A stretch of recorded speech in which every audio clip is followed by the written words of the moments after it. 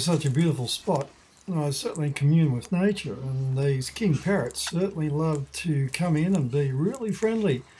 That's a baby over there changing colour.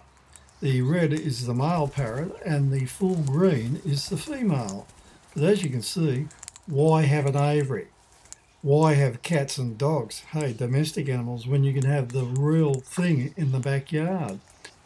Yes, I even have a backyard. Remember that?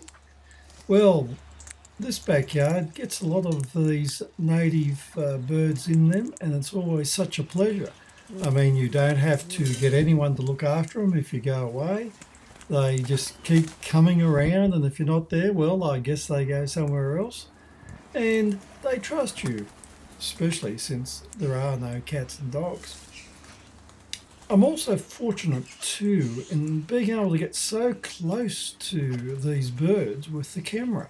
And this is the best I've ever been able to do it uh, because they always seem to fly away, but obviously they're just more interested in eating. So enjoy this very close up look at nature.